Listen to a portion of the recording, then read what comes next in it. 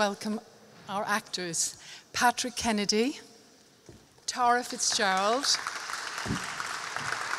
Owen MacDonald, and of course the wonderful Professor Mary Beard.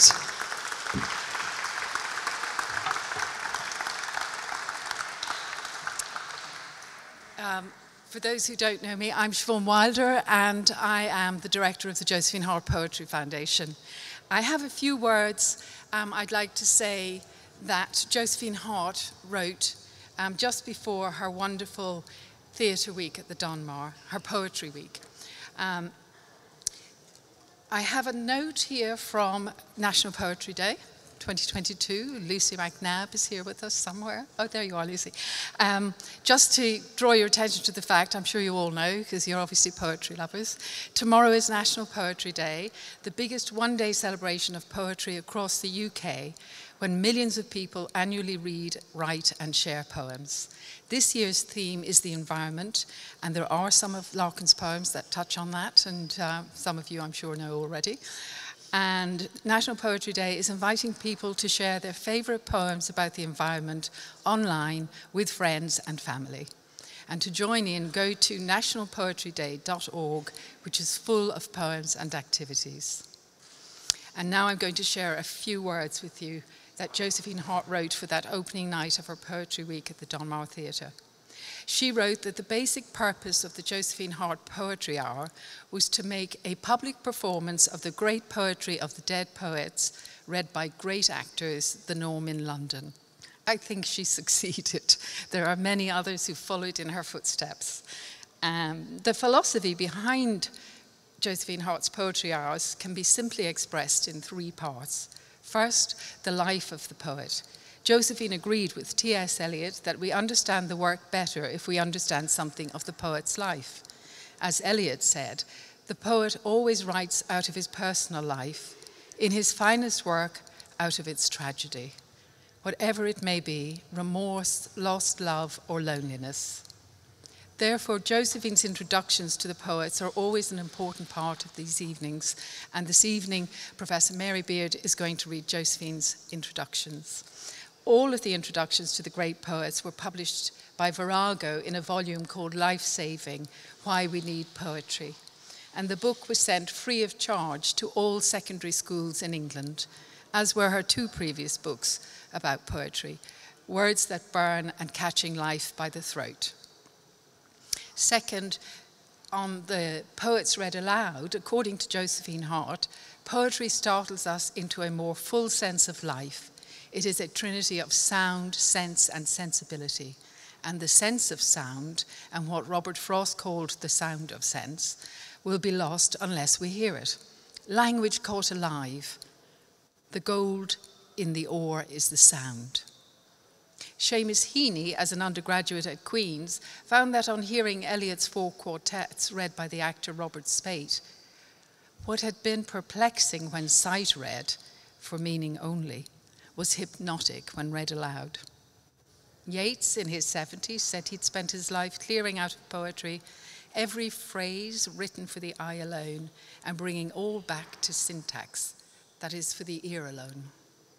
Auden put it more bluntly No poem which is not better heard than read is good poetry.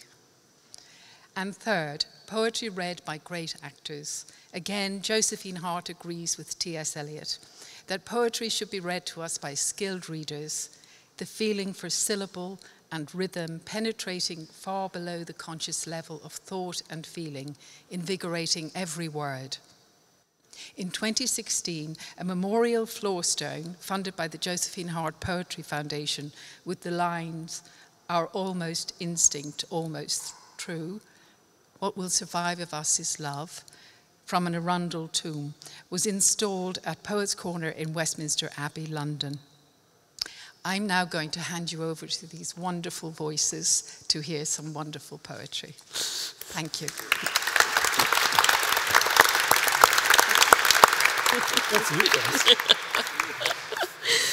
In 1984, I approached Philip Larkin to request permission to present an evening of his poetry read by Alan Bates. Though warned by his old friend Kingsley Amis, oh dear, no, Josephine, Philip won't like this at all, Mr. Larkin said yes. I sent roses. Philip Larkin's letter of thanks described the arrival of the bouquet at reception in Hull Library, its procession from one department to another, the tentative smiles of hope which faded, as impervious to silent entreaties, let it be me, the arrangement was eventually handed to him. That letter could easily have been a poem, illustrating as it does the motif in Larkin's poetry, which is uniquely his the significance of small events, the pressure they exert on an individual psychology thrown into relief against the great themes of life. And though, as someone said, he made the familiar strange, he also, as John Bayley noted, was the only sophisticated modern writer who needs no sophisticated response from the reader. Of the novelist Barbara Pym, whom he greatly admired, he wrote, I like to read about people who have done nothing spectacular, aren't beautiful or lucky, who try to behave well in a limited field of activity, and who can see little in the, who can see in the little autumnal moments of vision that the so-called big experiences of life are going to miss them. I like to read about such things presented not with self-pity or despair or romanticism, but with the realistic firmness and even humour. That is, in fact, what I call the moral tone of Miss Pym's novels. It is also the moral tone of Larkin's poems. He once said that art should either help us to enjoy or to endure. Yet he himself found it difficult to do either. Why? Philip Larkin was born in Coventry in 1922 to Sidney Larkin, eventually Sidney Larkin OBE, an administrative paragon with a passion for literature, and to Eva Day, an intelligent, bookish, nervous woman. They adored him. Crucially, it was a literary household. Sidney introduced his son to Eliot, Auden, and Joyce. Sidney had a passion for exactness in language, and he pored over dictionaries and grammars. He once told his son that Kingsley Amis' inability to grasp the difference between will and shall, would and could, precluded him from any possible future as a writer. Philip Larkin, a brilliant student, sailed into Oxford and sailed out again with a first class honours degree in English. Oh, how clever I am! A star descends on my forehead. I feel like a millionaire. A natural pessimist, he told everyone he was going to get a third. He also left a published poet, four poems in The Listener, ten in Poetry from Oxford in wartime. Larkin failed his medical because of poor eyesight. His first collection, The North Ship, was followed by his two novels, Jill and A Girl in Winter. He was very quickly very much on his way. Borges like, he became a professional librarian, eventually appointed to the University of Hull in 1955, which famously he never left. He combined the role of scholar, curator, and administrator in an exemplary career. His Who's Who entry states his occupation as librarian. A man is what he makes his living from. His early life was unmarked by trauma. He enjoyed great academic and literary success and a career to which he was dedicated. In fact, Larkin's life remained unmarked by personal tragedy. Yet, right from the beginning, a sad, if not a tragic, note is struck. Perhaps the answer lies in his childhood, which was dominated, he said, by an atmosphere of clenched irritation which curdled the whole experience. What was the rock my gliding childhood struck? A heartbreaking line. Powerful terrors pursued him the terror of being trapped by marriage and children, a phobic fear of death, a phrase used in its clinical meaning by one of his doctors.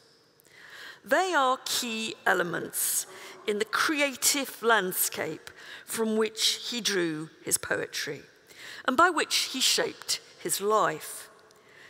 They served another carefully considered purpose. In the brutal choice for the artist between perfection of the life or of the work, Yeats's haunting phrase, Larkin came down firmly, knowingly, on the side of art. If Molly Bloom's is the most emphatic yes in literature, Philip Larkin's is the most emphatic no. Was he too clever to live? A comment, amongst others, kindly face, but no kidding him, perverse psychology, Irish perhaps, written in a copperplate hand by the late A.L. Rowse in a copy of Larkin's collected essays, Required Writing, which I was lucky enough to buy from Rowse's library. Heaney is more gentle on the subject of Larkin's cool intellect, noting we listen in his poems to his unfoolable mind singing the melody of intelligence, as we will in Toads, Poetry of Departures, Vers de Société. All tell dreams of leaving, of escape. And in Mr. Bleaney, the price of the unlived life. We start with a tribute to the whitest man I know, a Raj phrase. Who is he? According to George Hartley, he is Larkin, mocking the self, untarnished by life. Listen out for the marvelous last line in Sympathy in White Major.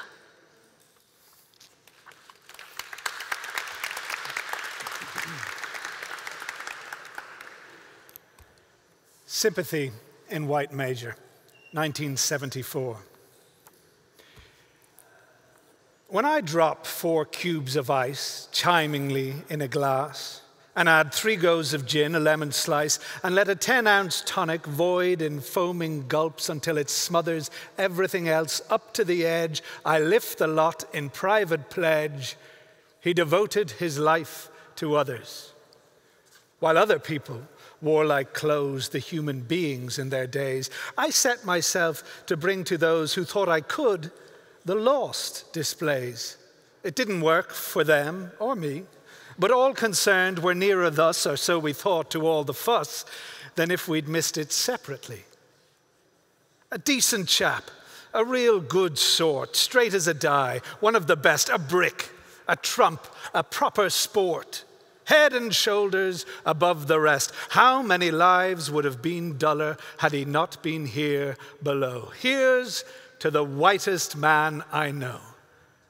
Though white is not my favorite color.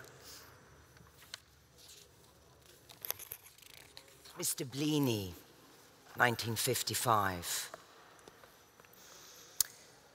This was Mr. Bleaney's room. He stayed the whole time he was at the bodies till they moved him. Flowered curtains, thin and frayed, fall to within five inches of the sill, whose window shows a strip of building land, tussocky, littered. Mr. Bleaney took my bit of garden properly in hand. Bed, upright chair, 60 watt bulb, no hook behind the door, no room for books or bags. I'll take it.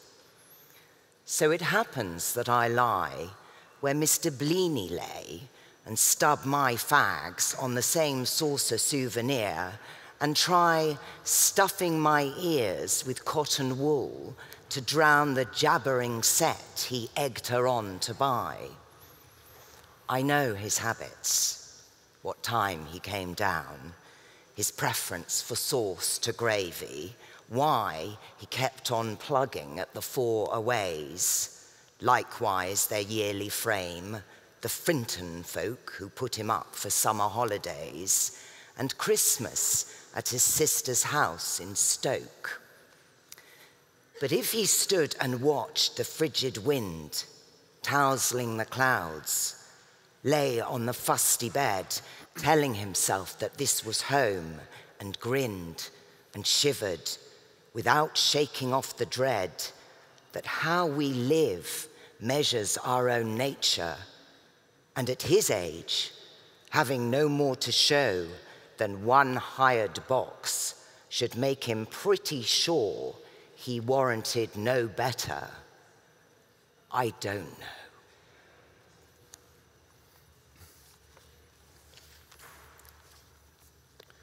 Toads, 1954. Why should I let the toad work, squat on my life? Can't I use my wit as a pitchfork and drive the brute off? Six days of the week it soils with its sickening poison, just for paying a few bills. That's out of proportion. Lots of folk live on their wits. Lecturers, lispers, losels, loblolly men, louts. They don't end as paupers. Lots of folk live up lanes with fires in a bucket eat windfalls and tinned sardines. They seem to like it. Their nippers have got bare feet. Their unspeakable wives are skinny as whippets, and yet no one actually starves. Ah, were I courageous enough to shout, Stuff your pension! But I know all too well that's the stuff that dreams are made on. For something sufficiently toad like squats in me, too. Its hunkers are heavy as hard luck and cold as snow, and will never allow me to blarney my way of getting the fame and the girl and the money all at one sitting. I don't say one body's the other one's spiritual truth, but I do say it's hard to lose either when you have both.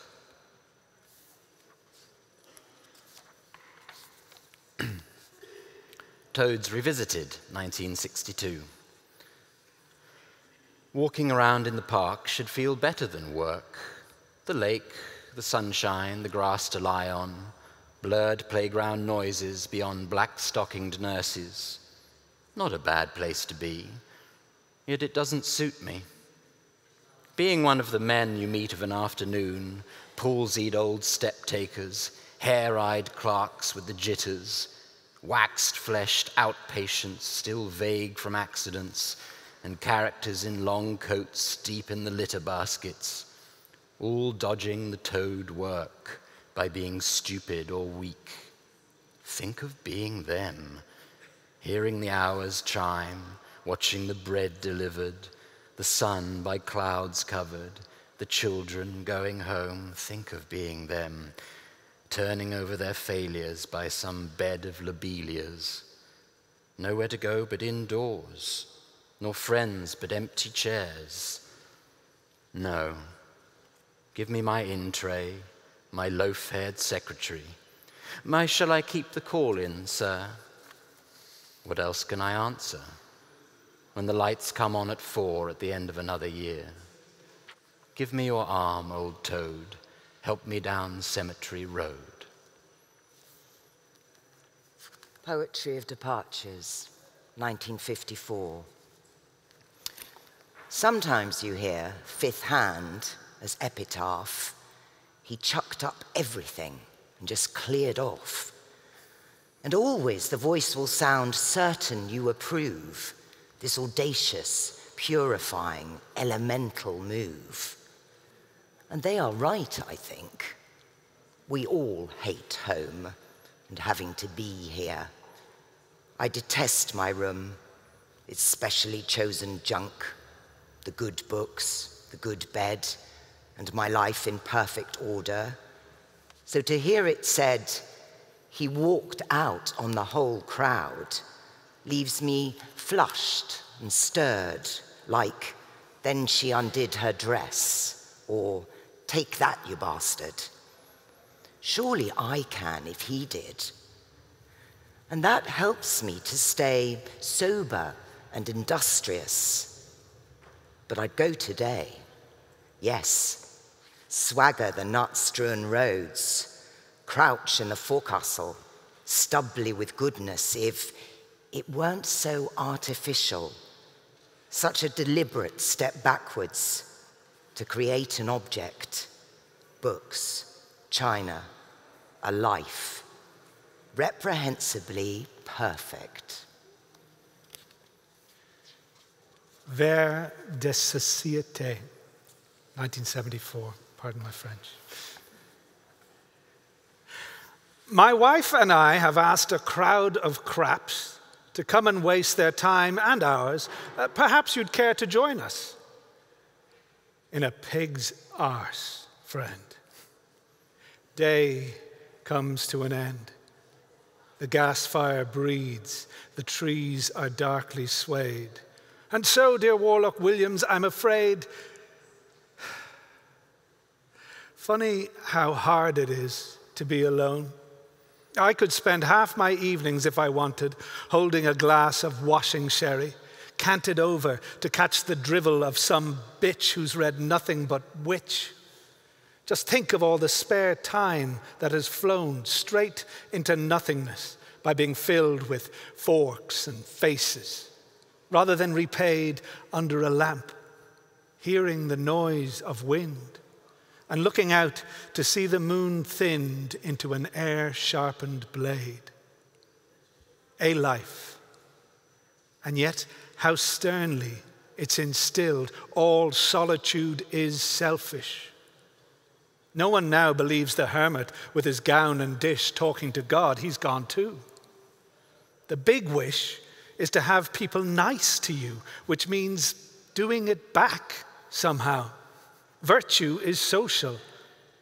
Are then these routines playing at goodness, like going to church?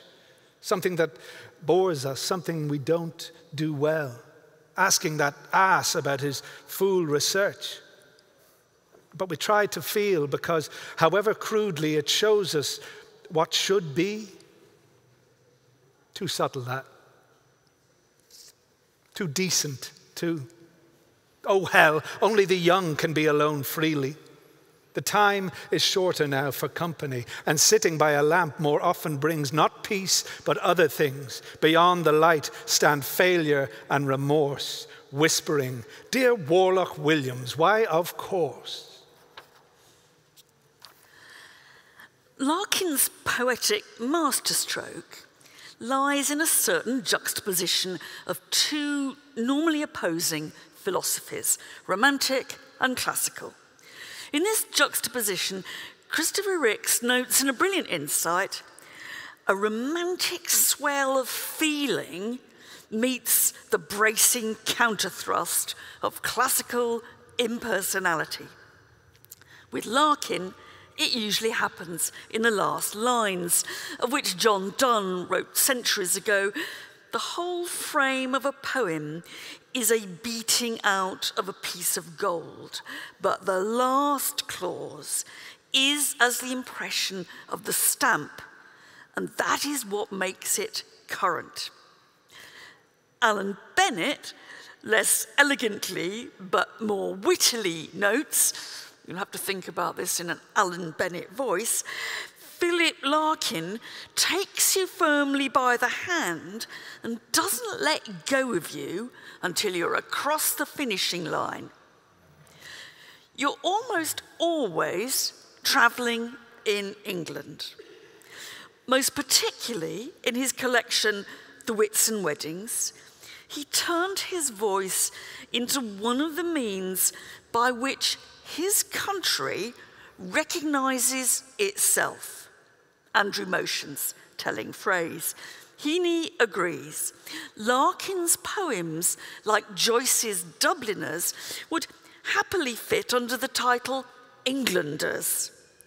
If Larkin were to compose his own version of the Divine Comedy, he would not find himself in the middle of a dark wood, but in a railway tunnel halfway through England. In Going Going, written in 1974, he warns with great prescience of the destruction of the countryside. Church going, reverence without religion. The church, a serious house in which it's proper to grow wise in, if only that so many dead lie round. And the brilliant I remember, I remember, Proust subverted the station sign, Coventry, the Madeleine, which triggers memories of where my childhood was unspent. The truth of most ordinary childhoods tumbling down to one of the great last lines in poetry. Nothing, like something, happens anywhere. To Sunny Prestatyn and the girl on the poster. Who was just too good for this world. Sunny Prestatyn, 1962. Come to sunny Prestatyn, laughed the girl on the poster, kneeling up in the sand in tautened white satin. Behind her, a hunk of coast. A hotel with palms seemed to expand from her thighs and spread breast lifting arms. She was slapped up one day in March.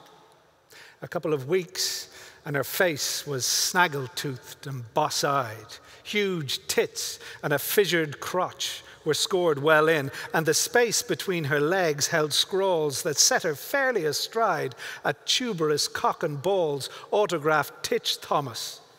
While someone had used a knife or something to stab right through the mustached lips of her smile.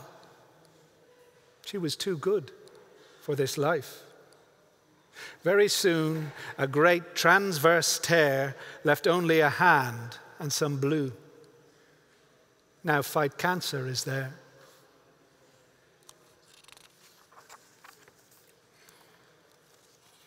Going, going, 1972. I thought it would last my time. The sense that, beyond the town, there would always be fields and farms where the village louts could climb such trees as were not cut down. I knew there'd be false alarms in the papers about old streets and split level shopping, but some have always been left so far.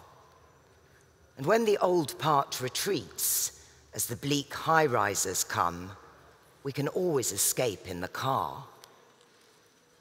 Things are tougher than we are, just as Earth will always respond however we mess it about. Chuck filth in the sea if you must. The tides will be clean beyond. But what do I feel now? Doubt? Or age, simply? The crowd is young in the M1 cafe, their kids are screaming for more, more houses, more parking allowed, more caravan sites, more pay. On the business page, a score of spectacled grins approve some takeover bid that entails 5% profit and 10% in the estuaries. Move your works to the unspoilt dales, grey area grants, and when you try to get near the sea in summer, it seems just now to be happening so very fast. Despite all the land left free, for the first time, I feel somehow that it isn't going to last. That before I snuff it, the whole boiling will be bricked in, except for the tourist parts. First slum of Europe, a role it won't be hard to win, with a cast of crooks and tarts. And that will be England gone. The shadows, the meadows, the lanes, the guild halls, the carved choirs. There'll be books.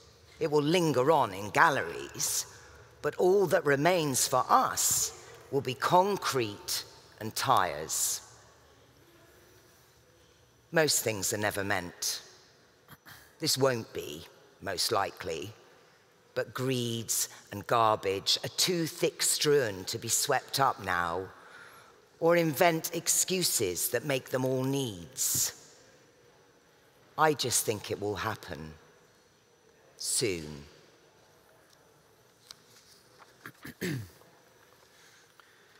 Church going, 1954. Once I'm sure there's nothing going on, I step inside, letting the door thud shut. Another church. Matting, seats and stone, and little books. Sprawlings of flowers cut for Sunday, brownish now. Some brass and stuff up at the holy end. The small, neat organ, and a tense, musty, unignorable silence brewed God knows how long. Hatless, I take off my cycle clips in awkward reverence. Move forward, run my hand around the font. From where I stand, the roof looks almost new. Cleaned or restored? Someone would know, I don't. Mounting the lectern, I peruse a few hectoring large scale verses and pronounce, Here endeth, much more loudly than I'd meant. The echoes snigger briefly. Back at the door, I sign the book, donate an Irish sixpence, reflect the place was not worth stopping for. Yet, stop I did. In fact, I often do. And always end much at a loss, like this, wondering what to look for. Wondering, too, when churches will fall completely out of use, what we shall turn them into if we shall keep a few cathedrals chronically on show, their parchment, plate, and pyx in locked cases, and let the rest rent free to rain and sheep? Shall we avoid them as unlucky places? Or after dark, will dubious women come to make their children touch a particular stone, pick simples for a cancer, or on some advised night see walking a dead one? Power of some sort will go on in games, in riddles, seemingly at random. But superstition, like belief, must die. And what remains when disbelief has gone? Grass, weedy pavement, brambles, buttress, sky, a shape less recognizable each week, a purpose more obscure. I wonder who will be the last, the very last, to seek this place for what it was. One of the crew that tap and jot and know what rood lofts were? Some ruin bibber, randy for antique, or Christmas addict counting on a whiff of gown and bands and organ pipes and myrrh? Or will he be my representative, bored, uninformed, knowing the ghostly silt dispersed? Yet tending to this cross of ground through suburb scrub, because it held unspilt so long and equably what since is found only in separation, marriage and birth and death and thoughts of these, for which was built this special shell. For though I have no idea what this accoutred, frowsty barn is worth, it pleases me to stand in silence here. A serious house on serious earth it is, in whose blent air all of our compulsions meet, are recognized and robed as destinies. And that much never can be obsolete, since someone will forever be surprising a hunger in himself to be more serious, and gravitating with it to this ground, which, he once heard, was proper to grow wise in. If only that so many dead lie round. I remember, I remember. 1954. Coming up England by a different line, for once, early in the cold new year, we stopped and watching men with number plates sprint down the platform to familiar gates. Why, Coventry, I exclaimed, I was born here. I leant far out and squinnied for a sign that this was still the town that had been mine so long, but found I wasn't even clear which side was which. From where those cycle crates were standing, had we annually departed for those family halls? A whistle went. Things moved. I sat back, staring at my boots. Was that, my friend smiled, where you have your roots?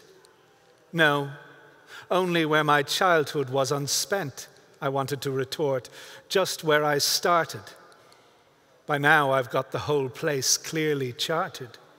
Our garden first, where I did not invent blinding theologies of flowers and fruits and wasn't spoken to by an old hat. And here we have that splendid family I never ran to when I got depressed. The boys all biceps and the girls all chest.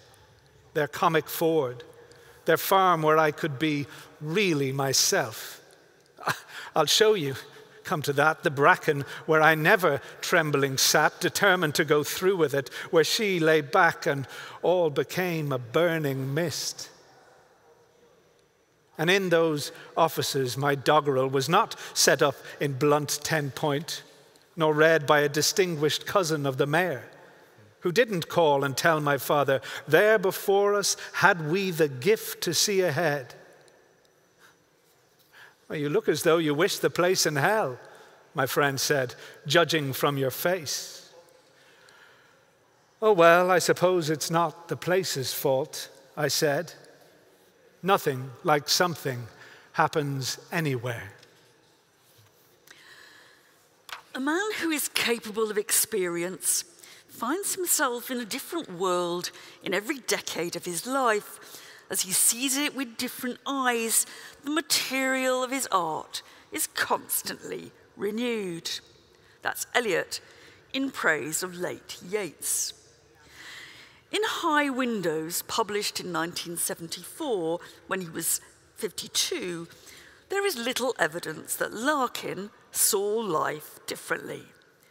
The material of his art, time, choice, evanescence, and the voice remained consistent.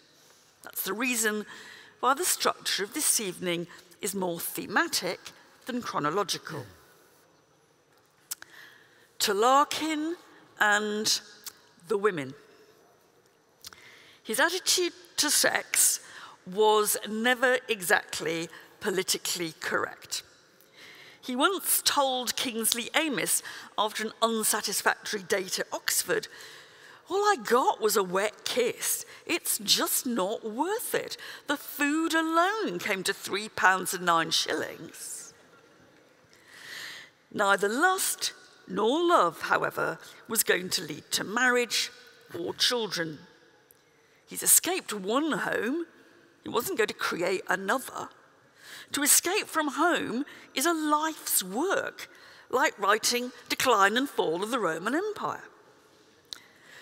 One of the great epiphanies of my life was when I realized it wasn't people I disliked, just children. He was, in fact, a much loved man. Uh, Monica Jones and Maeve Brennan loved him for decades, and there were many other relationships. In fact, he inspired in women levels of self sacrifice as would have done Lord Byron proud. Amongst the last poems that you're going to hear is the shocking Deceptions. I was the more deceived, a line again subverted. Then three poems which strike a different note on love and sex. Wild Oats, early sexual lessons. High windows, everyone going down the long slide to happiness. Annus Mirabilis, celebrated sexual joy, which, according to Larkin, began in 1963.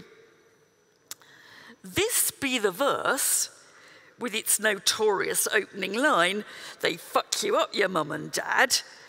Clearly, my Lake Isle of Innisfree, he wrote. I fully expect to hear it recited by a thousand girl guides before I die was written the same night as Annus Mirabilis, and there's a thesis in that somewhere. The Whitsun weddings, a Fellini-like vision of on station platforms of grinning and pomaded girls in parodies of fashion, heels and veils, mothers loud and fat, and my own favourite Larkin poem, Dockery and Son, a Dickensian title. He once said he'd found a way to make poems as readable as novels. He was right. The wifeless, childless, middle aged narrator recalls a boy Dockery who seized his moment sexually and begot a son who now attends their old college. Then Larkin throws down the gauntlet. Why did he think adding meant increase. And where do these insane assumptions come from? Larkin's later years, and he did not have enough of them, were garlanded in honours. The Queen's Gold Medal for Poetry, fellowships, membership of the Royal Society of Literature, companion in honour of honour, though not in poems. Larkin was offered and turned down the poet laureateship, saying, Poetry, that rare bird, has flown out the window and now sings on some alien shore. Larkin himself died, as he had predicted, in 1985 at the age of 63. It had long been an obsession of his that he would die at the same age as his father. After all his fear, he seemed, the nurse said, to be resigned. I go to the inevitable. His headstone reads simply Philip Larkin, writer. To our last poems of love and death. Aubade, the darkest poem he would ever write, and we will finish with the softer Arundel tomb and the line which perhaps inexplicably connects us to him. What will survive of us is love. But first, to talking in bed.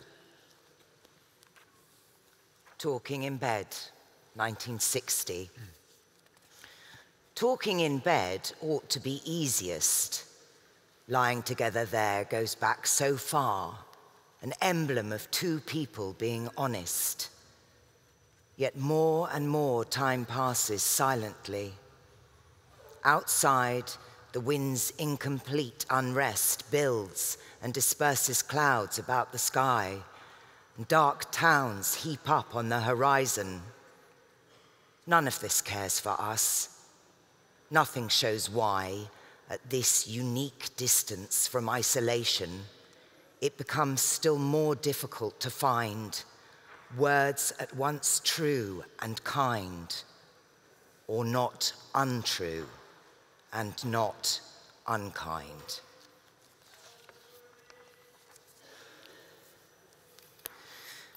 Deceptions, 1950. Of course, I was drugged, and so heavily I did not regain consciousness until the next morning. I was horrified to discover th that I had been ruined. and for some days I was inconsolable and cried like a child to be killed or sent back to my aunt. Mayhew, London Labour and the London Poor. Even so distant, I can taste the grief, bitter and sharp with stalks he made you gulp.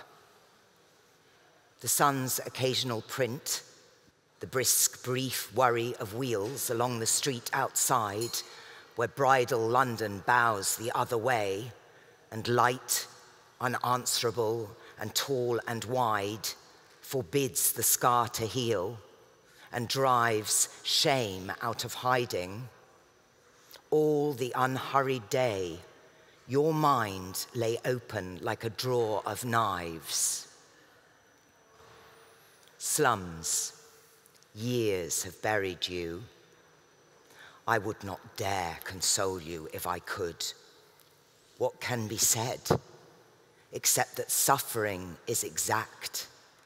But where desire takes charge, readings will grow erratic. For you would hardly care that you were less deceived out on that bed than he was, stumbling up the breathless stair to burst into fulfillment's desolate attic.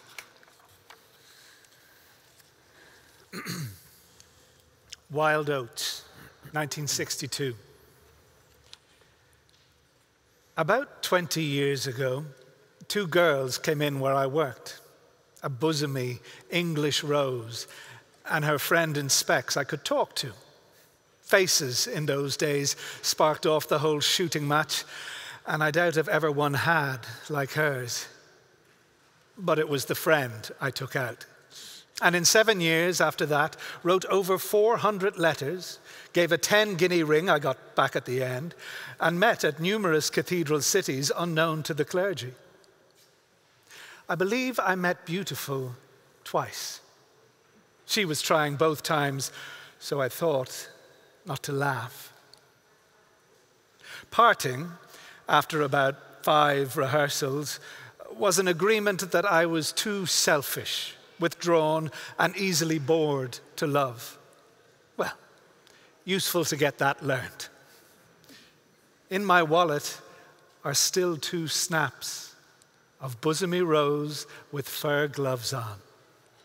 Unlucky charms, perhaps.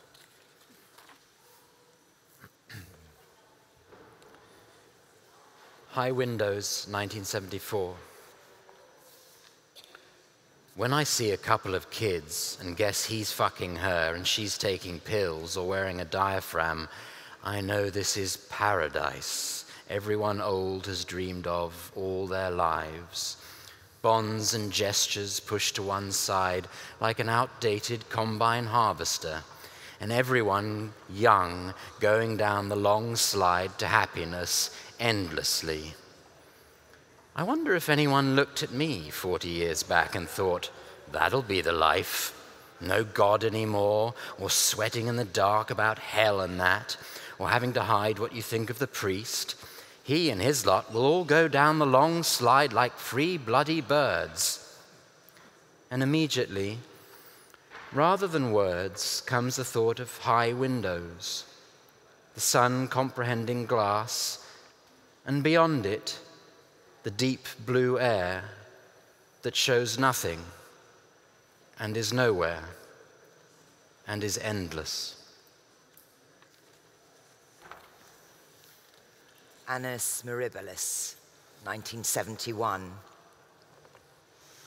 Sexual intercourse began in 1963, which was rather late for me, between the end of the Chatterley ban and the Beatles' first LP. Up till then, there'd only been a sort of bargaining, a wrangle for a ring, a shame that started at 16 and spread to everything. Then all at once, the quarrel sank. Everyone felt the same. And every life became a brilliant breaking of the bank, a quite unlosable game. So life was never better than in 1963, though just too late for me, between the end of the Chatterley ban and the Beatles' first LP.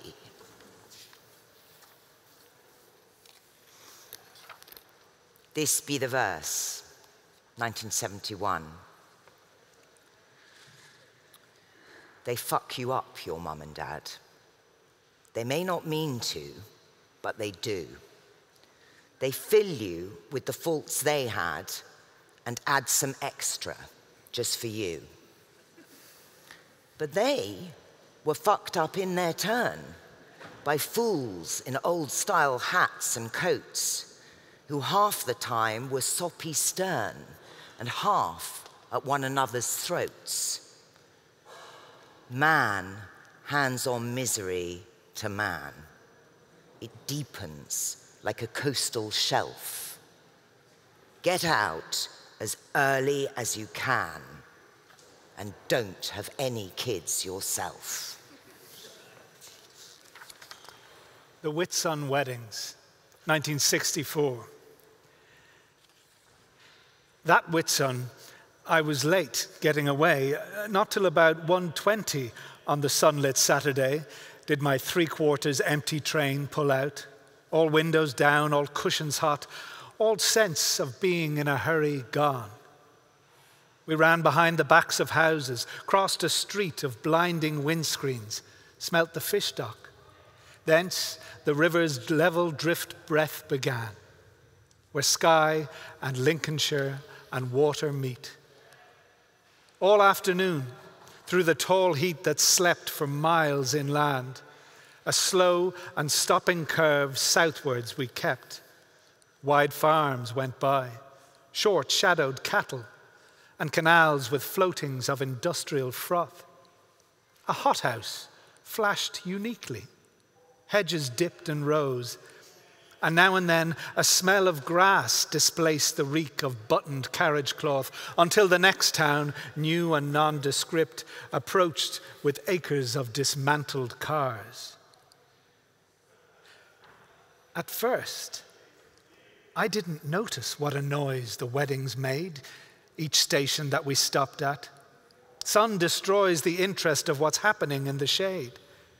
And down the long, cool platform, whoops and skirls I took for porters larking with the mails and went on reading.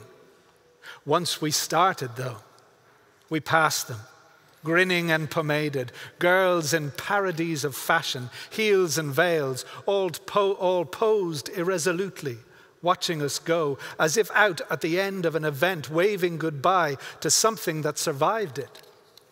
Struck, I leant more promptly out the next time, more curiously, and saw it all again in different terms. The fathers with their broad belts under their suits and seamy foreheads, mothers loud and fat, an uncle shouting smut, and then the perms the nylon gloves and jewelry substitutes, the lemons, mauves, and olive ochres that marked off the girls unreally from the rest.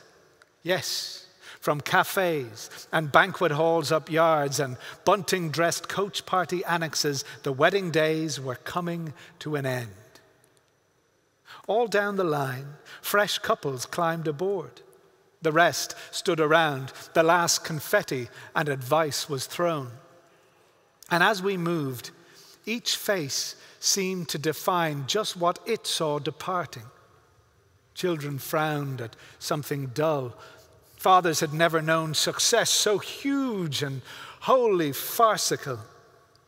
The women shared the secret like a happy funeral.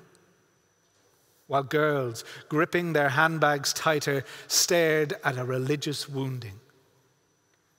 Free at last, and loaded with the sum of all they saw, we hurried towards London, shuffling gouts of steam. Now fields were building plots, and poplars cast long shadows over major roads. And for some 50 minutes, that in time would seem just long enough to settle hats and say, I nearly died. A dozen marriages got underway. They watched the landscape, sitting side by side, An Odeon went past, a cooling tower, and someone running up to bowl.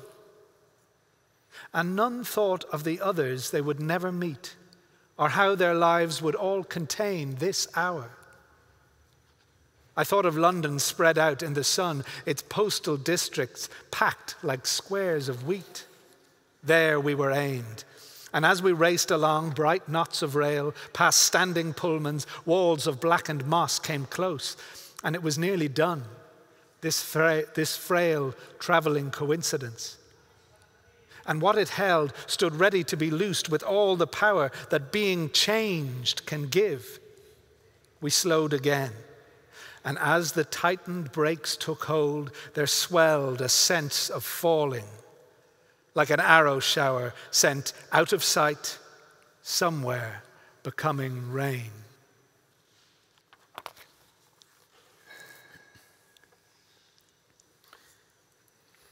Dockery and Son, 1964.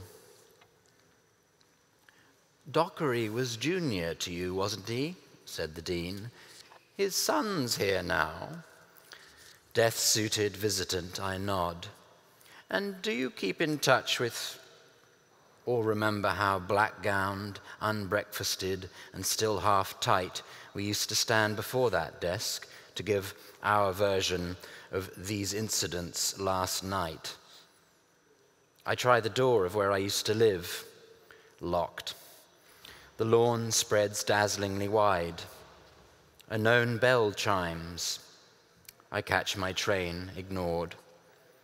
Canal and clouds and colleges subside slowly from view. But Dockery, good Lord. Anyone up today must have been born in 43 when I was 21. If he was younger, did he get this son at 19, 20? Was he that withdrawn, high collared public schoolboy sharing rooms with Cartwright, who was killed, well, it just shows how much, how little. Yawning, I suppose I fell asleep, waking at the fumes and furnace glares of Sheffield, where I changed and ate an awful pie and walked along the platform to its end to see the ranged joining and parting lines reflect a strong, unhindered moon. To have no son, no wife, no house or land, still seemed quite natural. Only a numbness registered the shock of finding out how much had gone of life, how widely from the others. Dockery now, only 19. He must have taken stock of what he wanted and been capable of. No, that's not the difference. Rather, how convinced he was he should be added to. Why did he think adding meant increase? To me, it was dilution. Where do these innate assumptions come from? Not from what we think truest or most want to do, those warp tight shut like doors. They're more a style our lives bring with them. Habit for a while, suddenly they harden into all we've got and how we got it. Looked back on, they rear like sand clouds, thick and close, embodying for Dockery a son, for me, nothing. Nothing with all a son's harsh patronage. Life is first boredom, then fear. Whether or not we use it, it goes and leaves what something hidden from us chose, and age, and then only the end of age.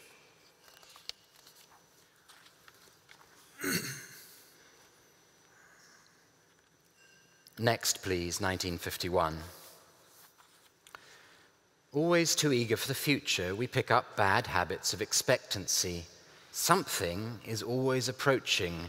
Every day, till then, we say watching from a bluff the tiny, clear, sparkling armada of promises draw near. How slow they are, and how much time they waste, refusing to make haste. Yet still they leave us holding wretched stalks of disappointment. For though nothing balks each big approach, leaning with brasswork prinked, each rope distinct, flagged, and the figurehead with golden tits arching our way, it never anchors. It's no sooner present than it turns to past. Right to the last, we think each one will heave to and unload all good into our lives, all we are owed for waiting so devoutly and so long. But we are wrong. Only one ship is seeking us, a black sailed unfamiliar, towing at her back a huge and birdless silence. In her wake, no waters breed or break. Oh, bad. 1977.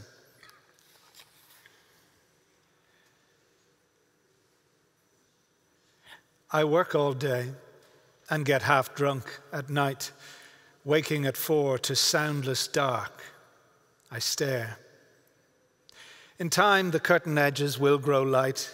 Till then, I see what's really always there unresting death, a whole day nearer now making all thought impossible, but how and where and when I shall myself die.